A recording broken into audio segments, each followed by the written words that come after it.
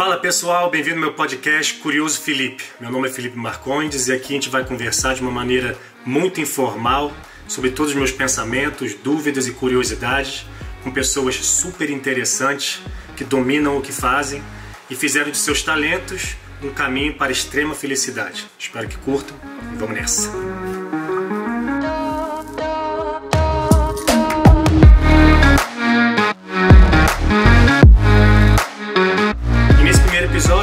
Mais, nada menos que Gabriel Medina, duas vezes campeão mundial de surf, o primeiro brasileiro a ser campeão mundial e uma pessoa extraordinária, uma pessoa com muito foco, muita determinação, uma pessoa que achou esse caminho para a extrema felicidade, vive uma vida muito plena e uma pessoa muito fácil de conversar.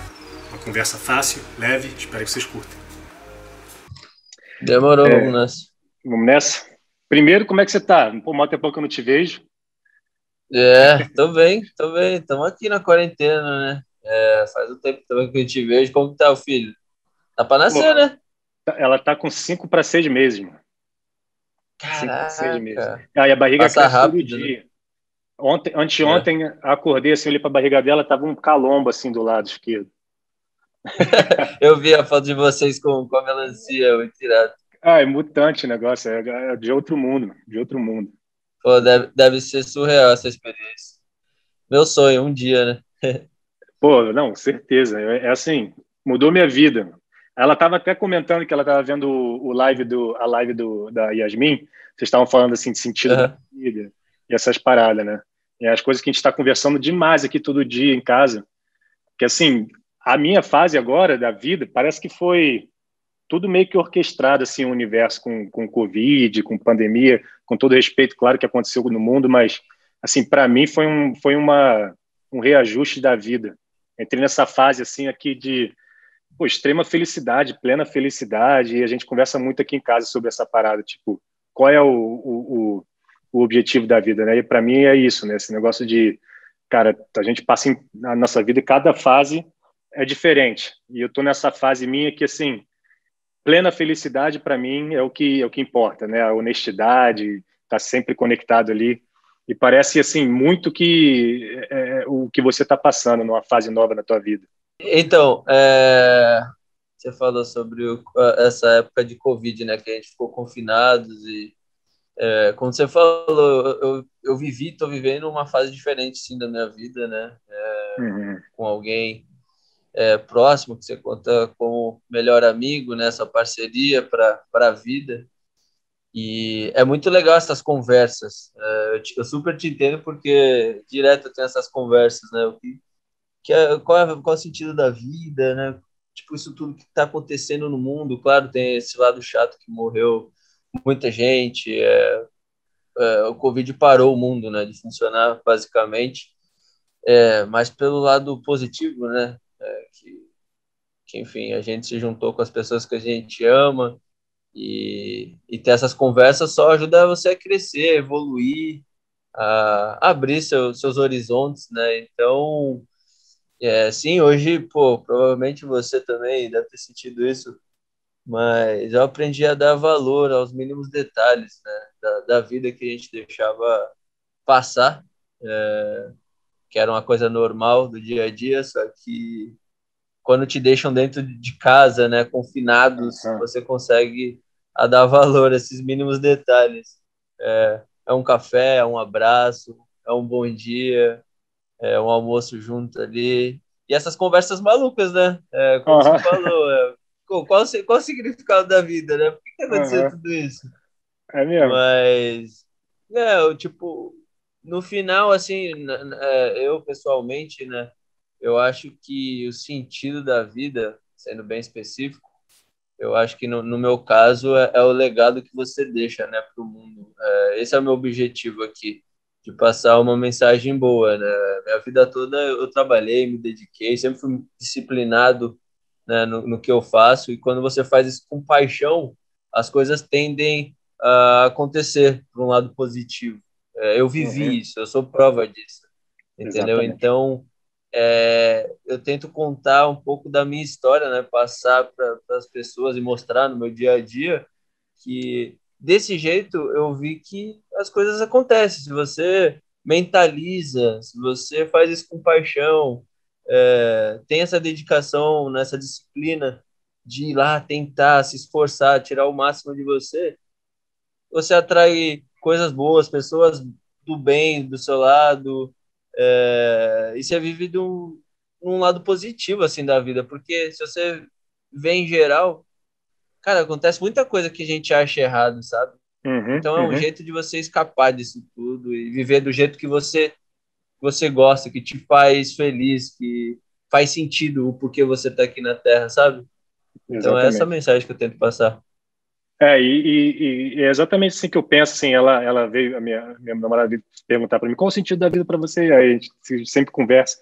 Aí eu falei, cara, é assim, para mim eu estou aprendendo muito nessa fase nova, assim, de extrema felicidade, que, é, que a honestidade é o que conta, né? Assim, ser honesto, especialmente com você mesmo, porque é, o que você gosta, o que você quer, o que te deixa feliz, e, e isso, assim, para mim, deixar um legado não se compara à, à, posição que você tem de deixar um legado, mas para mim, assim, deixar um legado no meu círculo de, de, de famílias, de amigo, para mim é o que é o que importa, né?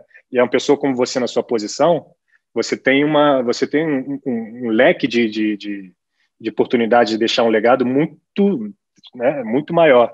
Então, para ter essa uma coisa que eu, que eu vejo de você assim, você naturalmente tem um foco muito muito especial, muito muito único, né, é, é, no que você tem que fazer, no que você quer fazer. E aí eu vejo essa extrema felicidade adicionando ainda mais esse foco no que você quer, no que você gosta. É, e, e para mim eu acho que isso atrai ainda mais, né, mais coisas positivas na vida. Não só no esporte, Com certeza. Mas eu, eu acho é, eu acho que independente, não, seja lá o que você estiver fazendo, o importante é, é, é, deixar esse legado, como você falou, passar essa mensagem boa, que seja para duas, três, cinco pessoas. É, hoje eu estou falando o meu legado porque eu vivo esse mundo do surf, né? Uhum. Claro, é, a gente se comparando, eu acho que eu falo com um pouco mais de, pessoas, porque é, claro. o surf hoje em dia é, é, transmitido, enfim, tem toda a atenção. Como no futebol são outros números, o basquete, tênis, então, independente do que você esteja fazendo, eu acho só de você estar tá passando para um, um próximo, sabe? Igual você falou, é, ser verdadeiro, ser honesto, né? ter amor, compaixão, pô, pensar pelo próximo. É, só desse jeito de, de, ser humano, de ser, você já vai estar tá cooperando com o mundo, sabe? E, uhum. e, no uhum. futuro a gente vai ter um lugar melhor. É você Exatamente. fazendo aí um pouco, é eu fazendo aqui um pouco, cada um fazendo sua parte já é, é isso que importa, sabe? É, essa vai ser a diferença no mundo. E não adianta você ficar pensando, tipo, pô, mas eu sou eu, não sou nada, eu vou falar com duas, três pessoas. Cara, já é uma ajuda do caramba. É muito é, difícil, sabe? Se o círculo é ali é muito importante, pode ser uma pessoa. É, exatamente. E foi uma coisa que me fez repensar essa pandemia. Infelizmente teve que acontecer muita coisa ruim, né? Pra, mas, mas foi o que aconteceu para mim especificamente, né? Eu achei o amor da minha vida e assim mudou tudo. Quando começou a se encaixar, aí ela ficou grávida, aí, caraca, mano, aí tu vai vendo, tu fala, agora eu tô entendendo, né? Parecia que antes era uma, uma coisa atrás da outra, tinha que fazer isso, aí eu fazia isso, aí depois, agora tem que conquistar isso aqui, agora tem que conquistar isso aqui. Era meio que, para mim, assim, era, não, não, não era que sem rumo, mas era uma, não era assim um planejamento completo. Hoje em dia, é, para mim, tudo faz um sentido é, maior, é muito louco esse negócio que passou tudo. É, é, é, muito louco. Eu te, eu, eu te entendo completamente porque eu tô com a mesma cabeça. Claro que eu não tô com um filho vindo. Eu acho que hum. acredito que pô, o filho, como eu te falei, eu acho que é, seria uma minha maior realização, assim, é meu foco de vida, né, depois da, da minha carreira. Mas, pô, com certeza deve fazer tudo. Agora, tipo, você pensa no seu filho, né, tipo, na sua família, na mulher que você ama faz muito mais sentido, né? É, tudo. Uhum. Além da, de tudo ao redor, mas, pô, é, é muito irado você se achar com alguém que você se dá bem, confia. É, e divide essa, essa, esses papos, essas maluquices, né? É, é, não, é. se você sentar aqui no café da manhã, eu falei para ela um dia assim, cara, que se tivesse uma câmera que nem eu deixar a gente louco. Mas. É, é, eu falo a mesma coisa aqui. E aí, pô, tu fica pensando, nossa, tu achou a mulher da vida e agora eu tenho a felicidade ainda mais de ter um filho, ter a possibilidade de ter um filho, né, ter a oportunidade de ter um filho com ela. É muito irado isso, mano. É uma parada que realmente está mudando minha vida. A gente foi fazer ultrassom outro dia, e aí eu não sabia que tinha é, esse negócio de 3D, né? Não, pô, não sei de nada, estou tô, lendo as coisas assim. E aí o, aí o, o médico estava fazendo lá, daqui a pouco ele, ah, olha só, isso aqui dá para transformar a imagem. Começou a transformar o rostinho dele, assim. Pô, aí ele tem o um lábio assim, eu não sei se era loucura minha e dela, mas ele tem um lábio assim igual ao meu, já dava para ver, caraca. Aí eu fiquei emocionado, aí ele botou o batimento cardíaco dele, eu fiquei chorando, que nem neném. Eu falei, caraca, mano. Pô, imagina, pô, que foda, que experiência. É irado, é irado. Caraca, que irado, animal. Pô, e essa parada de, de, de deixar legado, ter assim, um leque maior assim, eu, eu fico. Esse negócio de fama para mim é muito interessante, né? Que eu vejo eh, por exemplo, você, né? Tenho a oportunidade de conhecer você pessoalmente e eu acho que fica analisando assim, cara, que loucura, onde é quando foi que virou essa chave para você, né? Tipo, nossa, não sou mais anônimo, né? É, é, eu sei que 2014, quando você voltou, teve aquela multidão, teve aquele impacto, mas quando é que começou a cair a ficha, cair a ficha para você assim que, nossa, é, é, essa fama é uma coisa realmente totalmente diferente que eu já experimentei na minha vida inteira. É, eu, eu, a vez que eu mais senti, com certeza, foi quando eu voltei do meu primeiro título mundial, né? Que eu tava no Havaí, que é um mundo completamente diferente. É, e aí eu cheguei no Brasil, aquele calor todo, né? Uhum. Enfim, foi tudo registrado. É, cara, quando bateu, eu falei, caraca, o que que tá acontecendo com a minha vida? Foi quando eu parei no pedágio. Eu sempre passei pelo aquele pedágio, indo para casa, e, enfim, era uma volta para casa. E os, cara, os caras que vendem doce, uhum. é, cara, já comprei muito doce com eles, ninguém nunca me reconheceu. E quando eu passei, cara falou: Ih, caraca, Medina, Medina. E juntou todo mundo no meu carro, tipo, geral que tava vendendo doce. Aí eu, caraca, que irado. Tipo, falei, cara, o que tá acontecendo? Sabe? Tipo, eu tinha zero noção. E aí eu falei, caraca, aí falei com a galera assim, pô, obrigado, tal, todo mundo dando parabéns, tal, maneiro.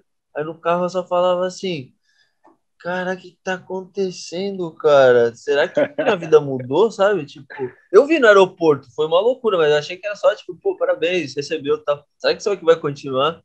E aí eu cheguei em casa, comecei a ter meu dia a dia, né? Tive que atender a imprensa, não sei o quê. E aí, é, minha vida mudou. Todo dia era gente na frente de casa esperando para tirar uma foto, filmar alguma coisa, recebi muito presente de fã, é, pô, e pessoas chorando assim, caraca, obrigado por dar essa alegria pro Brasil, não sei o quê. Eu, porra, e é muito louco porque, tipo, eu só tô fazendo o que eu mais amo, né, que é surfar, e claro, me dediquei àquilo, só que, tipo, quando eu tô dentro da água eu esqueço de tudo, tipo... Claro que depois que eu saio de cada bateria, assim, bate, né? Eu falo, caraca, tem uma galera feliz pelo que eu fiz ali na surfei, né?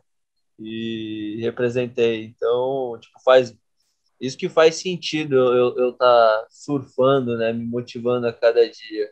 São as pessoas que eu deixo feliz, né? Por uma coisa que uhum. eu faço naturalmente. Então é surreal para mim. E é, aí depois disso, né? Depois do título, foi uma avalanche, assim. É, eu, eu, confesso que é, eu sinto um pouco de falta da, da, das vezes de adolescente, né? Que eu podia fazer o que eu quisesse, a hora que eu quisesse ah, na rua, se eu quisesse Imagina. Pô, dar descalço, sei lá, com, com taco, é, brincar de taco na rua, ninguém, tipo. É, olha, pô, às vezes a gente tá jogando. Eu já tentei jogar um.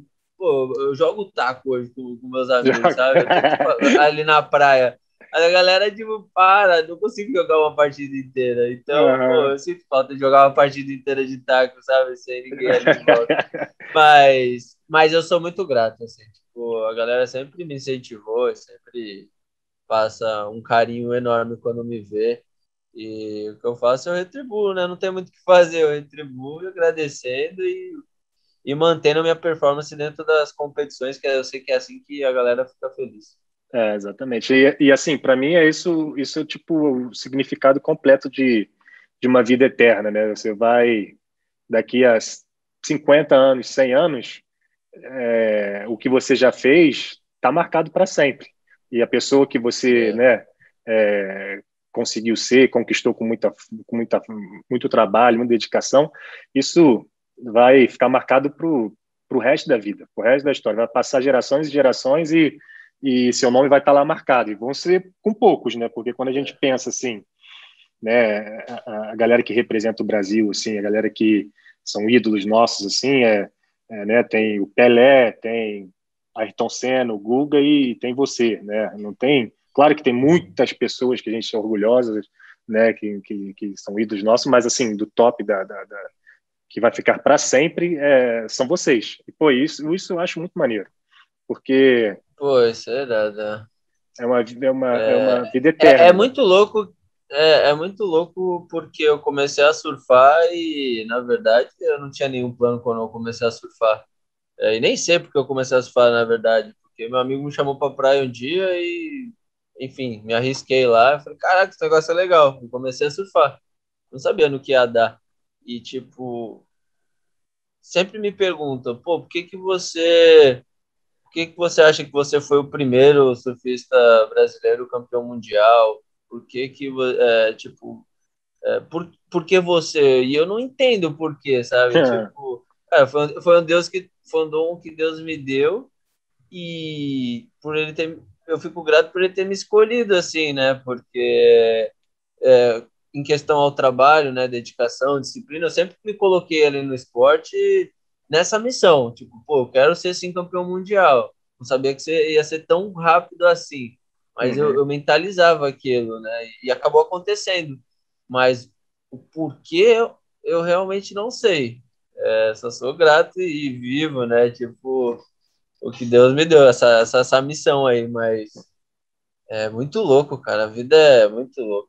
não, isso aí eu acho, pô, eu fico é, impressionado e, e, e, orgulhoso, assim, pô, de conhecer você pessoalmente, que, assim, é, é uma coisa que realmente, todos os brasileiros é, têm muito orgulho de você, mano. E, o porquê? Porque você tem esse talento, você se dedicou a vida inteira e foi extremamente merecido. Eu me lembro uma vez que é, a gente estava voltando, no, acho que foi da Havaí, não sei. A gente tinha parado em algum lugar para fazer uma, uma conexão de voo e a gente estava conversando. E você falou assim: Nossa, é muito louco assim o negócio de avião, né? Quando você vai pensando assim, você vai passando por cima das, das casas e, e aí, aí você falou: Ah, é muito louco de pensar quantas pessoas moram no mundo, né? A gente está passando por milhares de pessoas. Aí eu falei assim, é. é. mais louco ainda de tu passar por cima de todas as pessoas e tu pensar todas aquelas pessoas me conhecem. né? é, verdade, é, é muito é louco isso. Uhum, tu passa assim de avião, tu, tipo, milhares e milhares de pessoas estão lá embaixo. A coisa que te impressionou mais foi assim quantas pessoas moravam no mundo. Aí eu falei, pô, imagina é, a quantidade de pessoas que te conhece, né? É, é, não, é verdade. É muito louco, né? É legal muito. ter essas conversas de maluco, né? Que a gente começa a viajar e se fala, caraca, é real, né? Tipo, o que, que é isso, cara? É muito irado. É muito irado. E para mim, o mais, o mais maneiro, assim, cara, é que é, depois que eu comecei a te conhecer melhor, assim, tive pô, a felicidade de, de, presenciar várias, vários momentos especiais assim na sua vida. Eu vi o quanto você é gente boa, o quanto você é pé no chão. E eu sempre pensava, cara, é...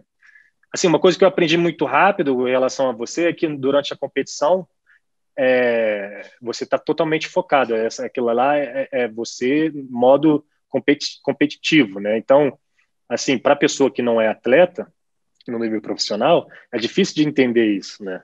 É, é, mas assim, depois que tudo acaba, eu vejo você como assim um amigo meu, sabe? Uma parada que é, é, é eu eu eu falo para você, eu não sei se eu teria essa cabeça, sabe? De, de uhum. ter esse pé no chão inteiro assim que você tem. Eu lembro muito assim na África do Sul, é, quando você ganhou, é, foi um momento especial, né? Tava todo mundo ali muito feliz, a gente foi é, uma galera jantar lá, a gente comeu pizza no, no, naquele restaurante italiano. E aí eu acho que eu comentei que eu estava sem carro, não sei o quê. E aí no final da noite, depois do jantar e tudo, você falou: não, fica com o meu carro aqui. Aí você entregou a, minha chave, a chave do teu carro para mim e ainda me deu uma roupa de borracha. Me deu uma roupa de borracha. Não, toma essa roupa de borracha aqui. Eu fiquei com o teu carro por três dias. Eu entreguei lá certinho. e aí todo mundo, ninguém entendia nada. apareci com um carro lá do nada, todo mundo falava, pô, Felipe Ele apareceu com, com Audi e a roupa de borracha novinha. Eu falei, agora estamos grandão, vamos fazer safari e tudo que. ah, irado. Pô, obrigado. É, não, é difícil de explicar para as pessoas, né? Tipo, é, como você falou, é, fora de competição, eu sou uma pessoa normal, pô. É, eu, eu, gosto de estar com meus amigos, eu gosto de ser um ser humano normal, sabe? Tipo, pô, se vierem falar comigo de boa, conversar tal, eu vou trocar ideia, pô. Eu, eu, eu gosto disso, eu aprendo, eu evoluo conversando com as pessoas. É, e eu acho, eu acho muito irado.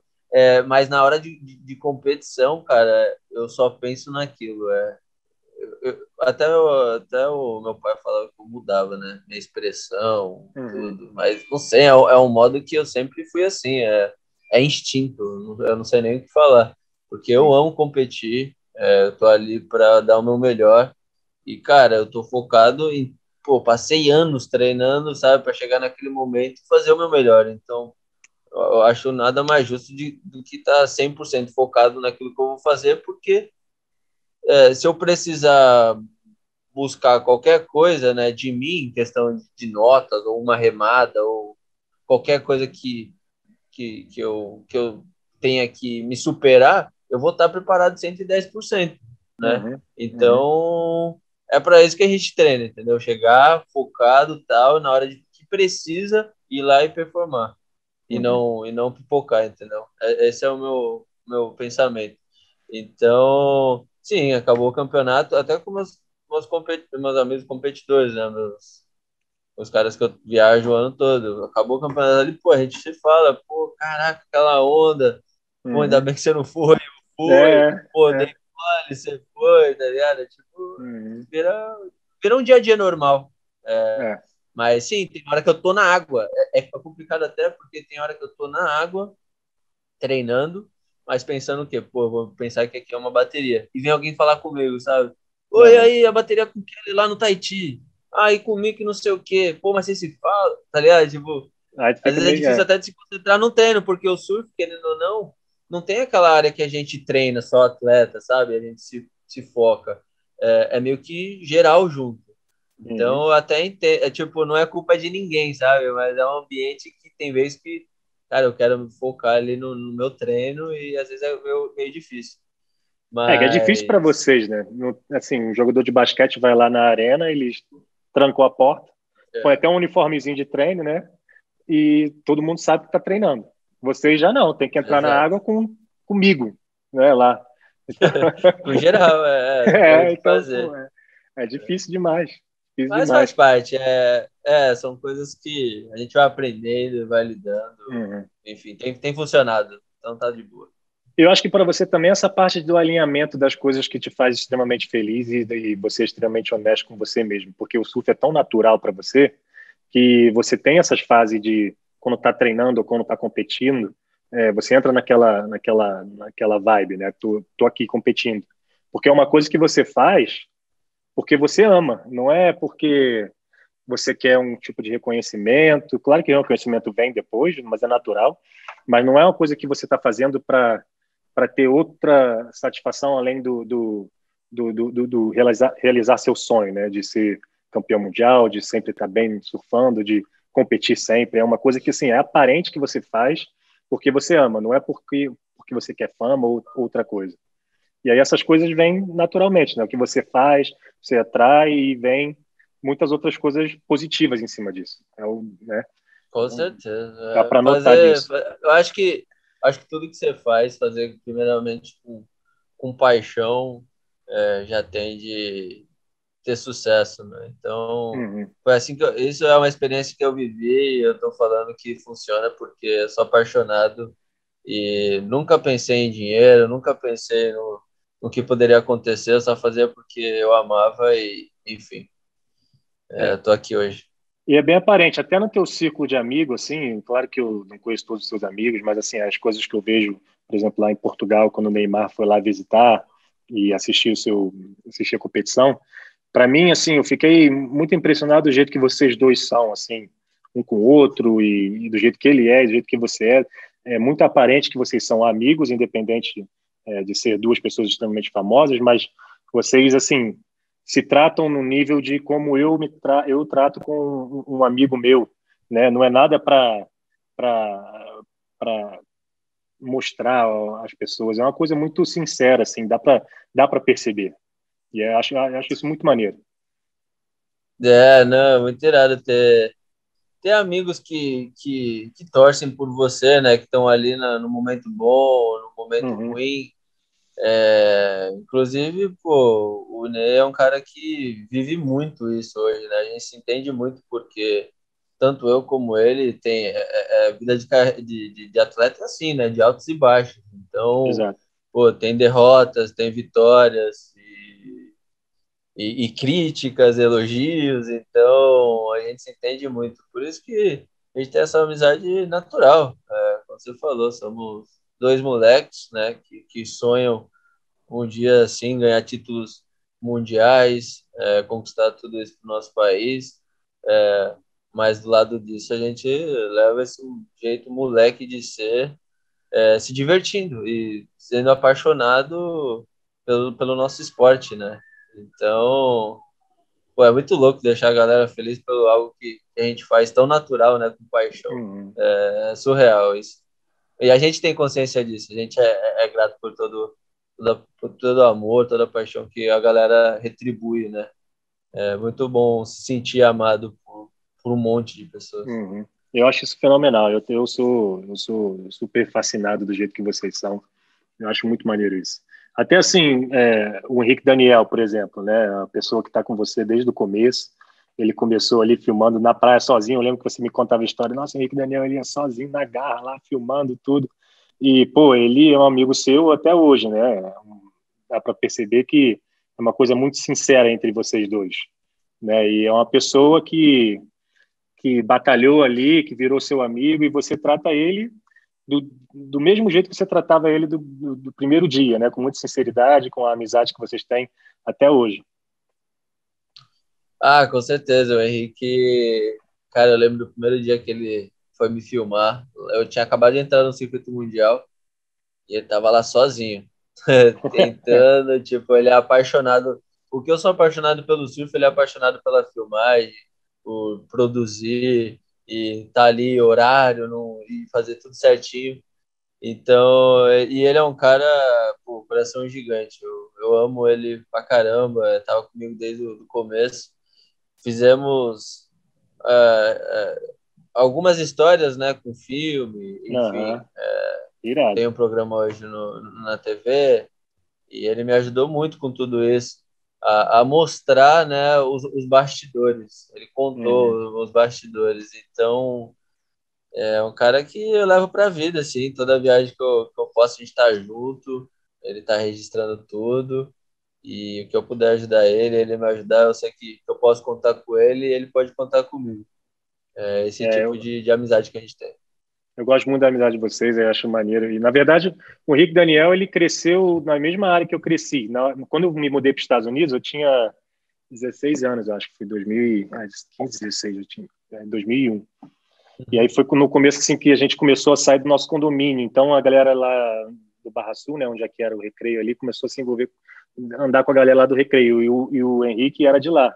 Cheguei a saber quem ele é, mas nunca conheci ele pessoalmente. Todos os meus amigos conheciam ele.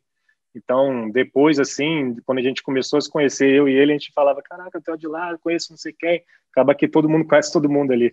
É, é uma ah, coincidência. Irado. É, é do Recreio, é. né? É, do Recreio, é. Ah, irado. Mas eu acho muito, muito maneiro de seu, mano. Pô, o, assim, mundo é pequeno demais, né? É bizarro. Caraca. Não, é essa é outra coisa também. Quando for ver assim, todo mundo conhece todo mundo. Todo mundo, cara. É bizarro. É em São Paulo, é aqui na Austrália, é... pode ir onde for. Cara, você conhece alguém? Conhece, assim. conhece. É. Não, e com você deve ser assim. Ah, o Gabriel Medina. O Gabriel Medina é um amigo do primo do meu, do que conhecia não sei quem, do que. Ela tem é, uma, é, uma, dia... uma teiazinha de aranha que chega lá. É, já apareceu alguns primos meus aí por aí. Aí, viu? Já ouvi história. É. Conheço muito ele, não sei da onde, sei da onde. Pô, muito maneiro. É. Pô, mas aí, é muito bom ter falado com você. Eu tô felizão aí pela, por ver a sua felicidade. Cara, sempre, sempre fui seu, seu fã, não só como, como um, um, um fã de, de, de, atletas e de, do surf, mas também como fã de uma pessoa que eu conheço, que eu posso chamar de amigo. Pô, tô felizão por você essa fase. Curta muito. Tô, eu tô, tô, tô vivendo muita coisa parecida com, em termos de relacionamento que você está que você tá passando. Eu acho isso, nossa, virou uma chave. Para mim, virou uma chave. Tá? É um, é um caminho totalmente diferente para mim. É, a extrema felicidade que eu estou vivendo hoje em dia uma coisa que eu nunca imaginei. Eu vejo isso é, é, na sua cara, no seu rosto. Pô, irado. Foi um prazer, Felipão. Tamo junto, cara. Toda a felicidade do mundo aí para você, para sua mulher, é, para sua filhinha que tá vindo aí. Tenho certeza hum. que vai ser sua maior realização. Nem imagino como deve ser, ser pai, mas tenho certeza Também que é não, uma, um sentimento. tenho certeza que é um sentimento único. E, pô, conta comigo, tamo aí. É... Foi irado. E sucesso no seu podcast. Oh, obrigado, mano. Valeu mesmo. É... Tamo junto. Tamo junto sempre. Bom, bom quarentena aí. Boa quarentena. Tá treinando em casa, fazendo tudo, né? É, tô aqui, tô treinando. Tô bem acompanhado, né? A Yá é super parceira, a gente faz tudo junto. É... Enfim, Dei sorte. é, irado. Boa sorte aí. Quebra tudo, vai para cima e brigadão mais uma vez. Tamo junto, Felipão. Fica com Deus. Valeu. Valeu, Tchau, tchau. Tchau, tchau. Valeu.